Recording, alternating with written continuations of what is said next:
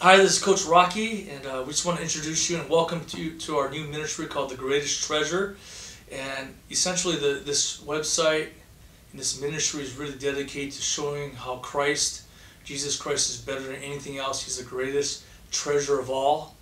In, in comparison to what this world has to offer, Jesus is better than anything else. And so we'll have a series of messages um, that we'll post uh, regarding this and how we're going to show present how Jesus is better than anything else, whether coming from family uh, scenarios to work scenarios to certain goals and aspirations, or even some sinful things that we may be dealing with, how Jesus is in fact better. And essentially, uh, our, my life verses, this comes out of 1 Corinthians 2 2 says, For I determined to know nothing among you except Jesus Christ and Him crucified.